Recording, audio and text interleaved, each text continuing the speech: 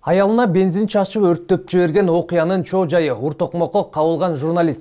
Атамбаевдин соту жана башка кабарлар менен апрелде жаңылыктар мен самат качкынов саламатсыздарбы? Аялдарга зомбулук көрсөтүү уланууда. Жыл жаңыргандан бери ур токмоктон эки аял каза таап ооруканага түшкөндөрү да аз эмес. Каракол шаарында бир мырза сөрөй жигитибиз өзүнүн жубайына бензин чачып өрттөп жиберген бул тууралуу ысык көл облустук ички иштер башкармалыгынан кабарлашты маалыматка караганда отуз үч жаштагы айымга анын жарандык жолдошу бензин чачып күйгүзүп жиберип окуя болгон жерден качып кеткен. Келин алган жаракатынан улам ысык көл облустук бириккен ооруканасынын травматология бөлүмүнө жаткырылган окуя чаламандын чак түшүндө шаардын борборундагы кафелердин биринин жанында болгон аталган факт боюнча бейбаштык максатта киши өлтүрүүгө аракет көрүү беренесинин негизинде сотко чейинки өндүрүш иши ачылды ал эми келиндин денесинен алган жаракаттарын аныктоо үчүн соттук медициналык экспертиза дайындалды. Кылмышка шектүүделген адам кармалып эки айга камакка алынды. Учурда тергөө уланууда деги кайда баратабыз жаңы жылдан кийин эле эки келинди токмоктоп өлтүрүп койдук. Беш бала ара жолдо калды алардын убалы кимге? Эми бул окуя болуп жатат. Зордукталып сабалып анысы аз келгенсип сууга ыргытылган келин тууралуу маалымат деле эсиңизде болсо керек. Кабары жокторго айта кетели. Маалымат булактары ысык көл облусунда зордуктап кетти деген арыз менен милицияга жаш келин кайрылып бирок тартип сактоочулар эч чара көрбөй жатат деп жазып чыгышкан. Кечээ ал аялды арызыңды ал деп зордуктаган делип жаткан жигит сабап көлгө ыргытып кеткен деген маалымат чыккан бүгүн ички иштер органдары бул арыз боюнча териштирүү иштери токтотулганын билдирди анткени иште кылмыштын курамы табылбаптыр алар өз макулдугу менен эле жакын мамиледе болуп жүргөн дейт милициядагылар шектүү делип жаткан жигит кечээ ачык билдирүү жасап биз ойнош катарында жашап жүргөнбүз деп айтып чыккан э, өзүнчө да батирге чыктык э, аяк суук болуп калды коттедждеп өзүнчө үйгө чыгып жашап жүрдүк аякта да ойнош катарында эле анан ноябрдын отузу күнү уруша кетип үй бүлөң менен ажыраштырам деп шантаж кылып ушинтип жалган жала көрсөтмө берип мени каралап келатат. Мына ушундай. Буга чейин көпчүлүк укук коргоо органдарын тепкилеп кыздын таламын талашып жаткан. Милиция бул иш боюнча өз тыянагын чыгарды эми чынында акыйкат ким тарапта? Айтуу кыйын. А сиз кандай ойдосуз? Комментарийге ой бөлүшүңүз.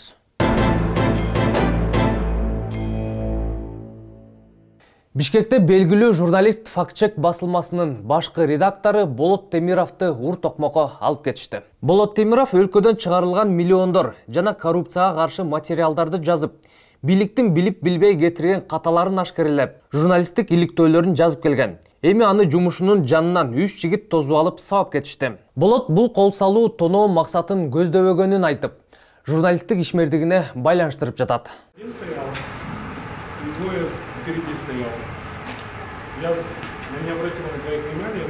Прохожу, обхожу и один из них стал передо мной. И тут удар идет сзади, я падаю здесь. Факт чек порталынын редактору болот темировго чак түштө кол салышкан жумушунун жанынан белгисиз үч бала үн сөзү жок тепкиге алган ишке келатканда үч бала мени тосуп аркаман бирөөсү урду мен жыгылганда тепкилей баштады бир топ убакыт тепкилешти анан кийин мен бирөөлөрдү көрүп качып кетти окшойт бети башы сыйрылып кеңсеге араң жеткен.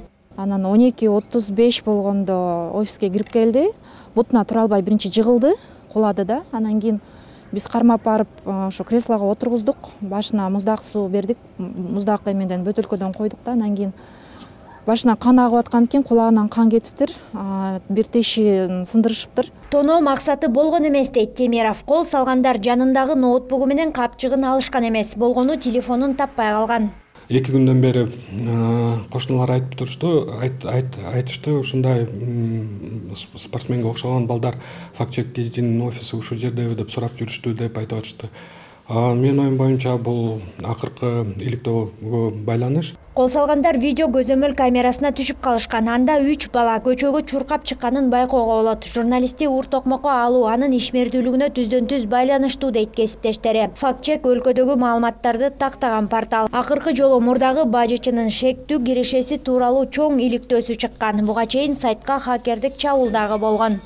Бул жерден мындай талап деген максат болгон эмес да алгачкы максатчы балким ошо коркутуп үркүтүп журналисттик ишмердүүлүгүнө байланыштуу деп ойлойбуз да. Себеби акыркы кездерде ошо көптөгөн иликтөөлөр чыккан болчу коомчулукка жарыяланган да.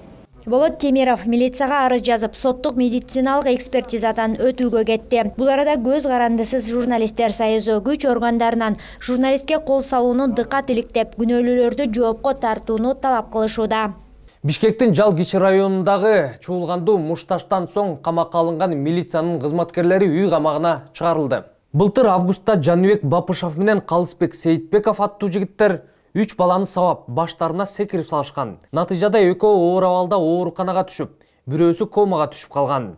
Шектүүлөргө издөө жарыяланып окуядан он күн өткөндөн кийин жаныбек бапышев менен калысбек сейитбеков милицияга өздөрү келишкен. Алар менен катар эле окуя болгон жерге жетип барып бапышев менен сейитбековду кармаган милиция кызматкерлерине тоскоолдук кылып инилерин бошотуп кеткен чүй облустук ички иштер башкы башкармалыгынын кызматкери казыбек бапышев дагы камакка алынган. Бирок ал тергөө менен кызматташуу келишимине кол коюп бошотулуп отурат. Менде мындай бир суроо бар билармандарга бирөө менен мен кылмыш кылып кармалгандан кийин силер менен кызматташам десем эле мени бошотуп жиберишеби бул кишинин иши боюнча да көптөр мен кыйын деп жүргөн юбкачан генералдар дагы тергөө менен кызматташабыз деп эркиндикте жүрүшөт сөз алмазбек атамбаевдин иши боюнча болуп жатат.